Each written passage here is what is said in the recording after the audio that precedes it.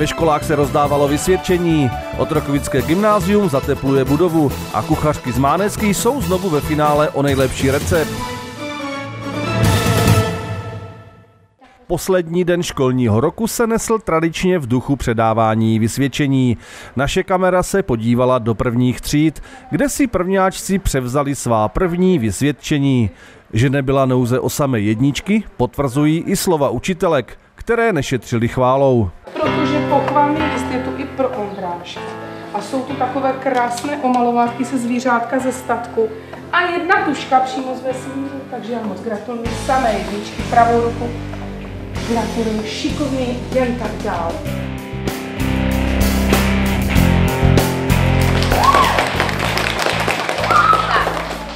Milá Zuzanko, tak předávám ti krásné vysvědčení se samými jedničkami. A ještě tu máš ode mě takový pochválný list, kdy tě chválím za příkladnou školní práci, výborný prospěch, aktivitu ve vyučování a vzorné chování. Takže teď je právě čas na to, aby jsme Zuzance zatleskali.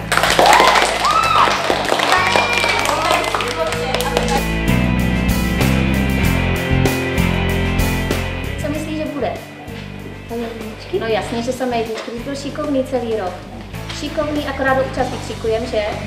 Ale si dáme pozor ve druhé třídě. No jenom, že já jsem vám říkala, že to písmo se ve druhé třídě určitě zlepší. Filka bude psat určitě pohledy dovolené někomu. Bude trénovat hezky psaní. Jinak blahopřeju samé jedničky, Fidel si šikovný v matematice ve všem, nebo přeješ prsty, už tak to je paráda úplně. Blahopřeju. Tohoto školního roku jsme všichni dokázali veliký, ale veliký práce. Naučili jste se číst, naučili jste se psát, počítat, naučili jste se počítat. A ve druhé třídě už tady ty vaše znalosti budeme dál rozvíjet.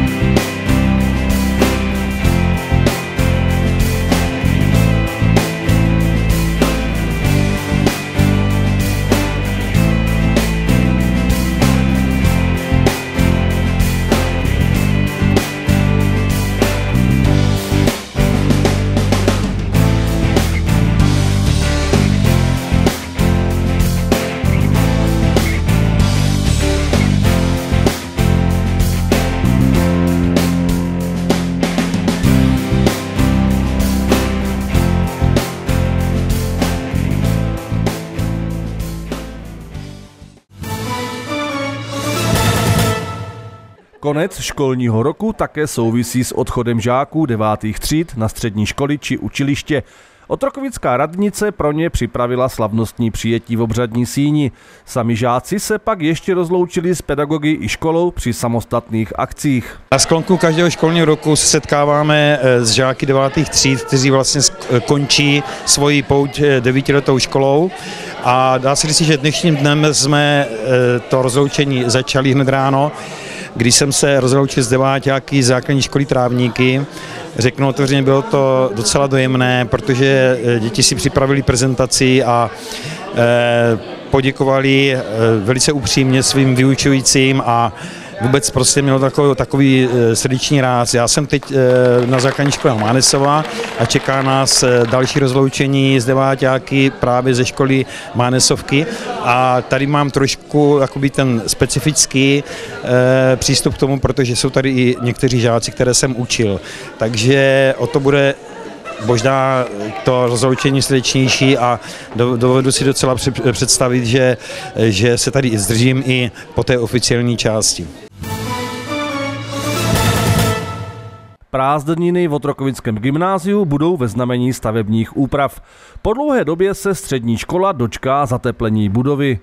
Gymnázium začalo v této chvíli zateplovat, zatepluje s přispěním nejenom z Línského kraje, ale i samozřejmě dotačních titulů operačního programu životního prostředí. Eh, celá akce bude stát eh, přes 8 milionů bez DPH, ale to důležité je, že škola konečně dostane ráz, který náleží, to znamená, bude zateplená, budou vyměněna okna, ale zachová se původní baťovský ráz, to znamená, rozhodně nebude rušit okolí. Po ukončení stavebních prací se Otrokovické gymnázium od nového školního roku znovu otevře studentům i pedagogům. V příštím roce otvíráme zase standardně jednu třídu osmiletého studia, jednu třídu čtyřletého studia a můžeme říct, že škola samozřejmě pokračuje v intencích toho, co si původně přece vzala, to znamená, aby byla školou 12 třídní s jednou čtyřletou třídou a jednou osmiletou. Chtěl bych zároveň všechny absolventy a příznivce školy pozvat na 60. výročí nebo oslavy 60. výročí založení školy, které proběhnou prioritně 23.11. roku 2013, což je vidět i za mnou na tom baneru. A nakonec se podíváme ještě do školní jídelny v základní škole Mánesova. Tamní kuchařky se již po třetí dostali do finále celorepublikové soutěže školních kuchyní o nejlepší recept. Já svůj talon jaksi kvality, to vidět na mě, už podle mé postavy. Jinak teď vážně jsem rád, že se děvčatům z naší školní jídelny podařilo eh, postoupit tady do toto finále. Jak víte, tak eh, už jsme obsadili třetí místo, druhé místo a přál bych samozřejmě děvčatům, aby se jim to podařilo, i když vím, že ta konkurence v Praze bude obrovská a vlastně těch moravských škol je tam minimum. Jako ředitel mluvíte školní jídelně do toho, co mají vařit? No určitě to, do toho nemluvím, jo, prostě to dělají paní vedoucí s hlavní kuchařkou, no a jak víte, vaříme vždycky dvě jídla a myslím si, že každý si může vybrat tak, aby mu chutnalo. Tak letos jsme se opět přihlásili do soutěže o nejlepší školní oběd z toho důvodu, že už máme ze soutěží dobré zkušenosti a taky si myslíme, že asi by nám chyběla už celková atmosféra té soutěže, kterou vždycky prožíváme. Opravdu připravujeme pokrmy co nejvíce z čerstvých surovin, je to pracnější, ale pokrmy jsou z těchto čerstvých surovin výživnější. Kuchařky jsou šikovné, pracovité, recepty se snažíme eh, zkoušet i nové, nějaké přebíráme z internetu nebo z nějakých odborných kuchařských knih a paní kuchařky to, eh, to jejich řemeslo baví, což se odrazí i v té jejich práci.